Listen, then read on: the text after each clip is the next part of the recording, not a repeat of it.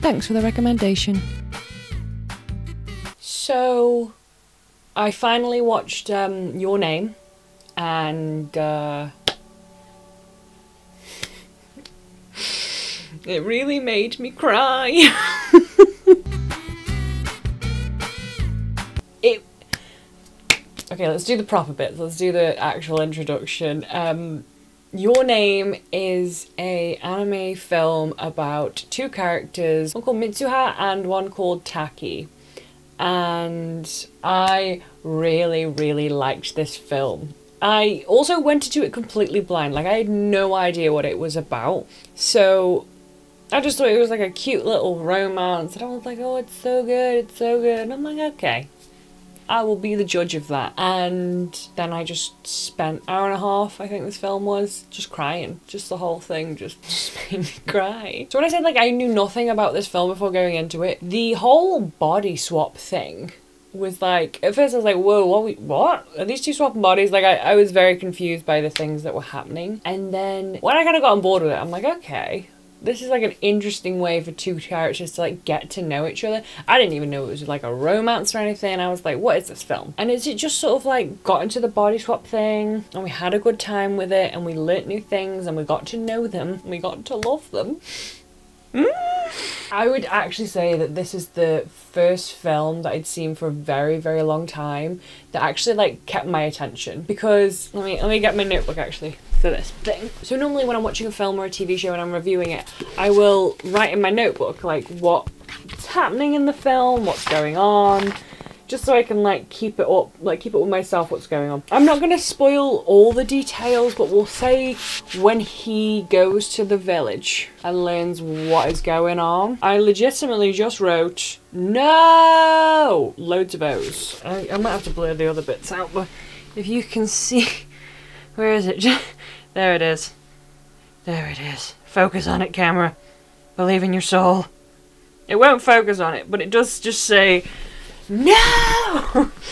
and I meant to be writing in this to be like, this this happens then, and this happens then, and this is this person's name, and this is this. But I stopped writing in it for like a couple hours. Halfway through the film, I just stopped writing because I was sat there like this. Like, uh, I just hands on face, glued to the screen. I, I just couldn't. I couldn't deal with it. I couldn't deal. And I then I realized I got to the end of the film and I'm like, I've, I've wrote nothing. So after the no incident, I literally wrote in at the end about how it ended, and that's it. I just stopped writing. It just was too much.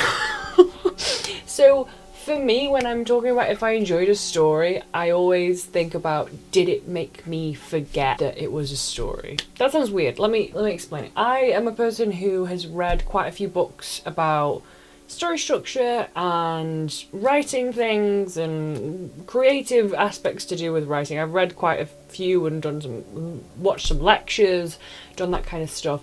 So when I'm reading a book, watching a TV show, I can kind of like see the steps they're taking. Like, okay, this is that one, this is the inciting incident, this is the blah blah blah. You know, I can see the things that we're doing and why we're doing it, and I can kind of see the cogs moving in the story, which I appreciate. I think when anybody who who gets into film, for example, when you start watching films, you can see the cogs moving, and you can go, okay, this is happening for this reason, this is happening for this reason. But during this film, I completely forgot that I was in the room, that I was watching this for a YouTube video, that I was doing this for quote unquote, I know I don't make any money with this channel, but like work. And I, I, I, I just had, I was just staring at it. I was like, oh my god, find her, find her. Yeah, so yeah, it just, it made me forget that I was a person, that this was the thing. I just watched the film in awe and like desperately hoping for all to go well. So in my opinion, that to me means it's a good film. If you make me forget about all the moving pieces and the cogs that make up a story, then it's good. I also loved the more things that I loved about this film. I also loved the um the art style. Like wow. The animation and the art style was just so everything about this was so pretty. I loved the kind of I'm gonna call it like yin and yang, but I don't think it's maybe right what I'm saying of the male and the female character like all of her surroundings were very nature based and very like pretty greens and water and all that. And his were quite industrial and metal and steel and steel is metal. Okay, that was stupid, but it, it's been a very long day. So metal and sky and glass. So their worlds were kind of separate, but it was very nice to go to each world via their perspectives. I just loved how beautiful the art style was and everything that they kind of achieved with it and the differences in their worlds and like speaking of like her surroundings i liked the whole the rituals and like how rural japan works and the making of the sake and the threads and I just loved all that. I thought that was really interesting and then to counteract it with the sort of modern day Japan and the city and bustle and hustle and doing all this kind of stuff and it was a nice transition and I for some reason I don't know why I loved it so much when they were like transitioning like little transition shots the door from like the angle at the bottom like from the ground there's an angle of like the doors closing and it was her doors sliding you know those wooden doors there's probably a name and I don't know it. And then his metallic automatic doors sliding. I just I really liked that. I don't know why I enjoyed the doors so much, but I really enjoyed the doors. I was kind of surprised with how funny this film was because as I kind of went, oh, okay, it's a romance. And then there was the whole thing of um, Taki waking up in her body and he's like doing what any teenage boy would do if he woke up in a female's body, just has a little feel, she has a little look, and it, it just was kind of funny, and I didn't expect it to make me laugh like it did, and I didn't expect it to make me cry like it did. So I think if you're looking for an emotional film, it's very much recommended that this would be a good one. And then I'm going to speak one more thing in this film and then I'm going to wrap up. But the scene where they're on that hill together during magic hour and he says, write on my hand and write your name on my hand and I'll do it to you and he writes on her hand. no! It was, oh, it was so good. And then when she learns like what he's actually written on her hand,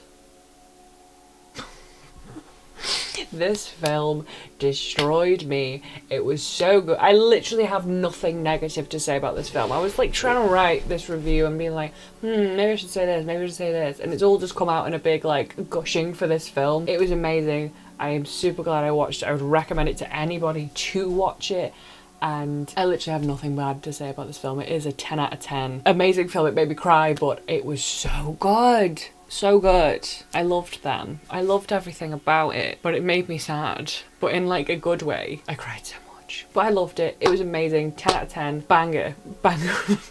Ooh, banger of a film. Uh, yes, I loved it. I'm gonna shut up now about this film, but I really, really enjoyed it. So thank you. I'm gonna shut up. Bye. Ciao for now.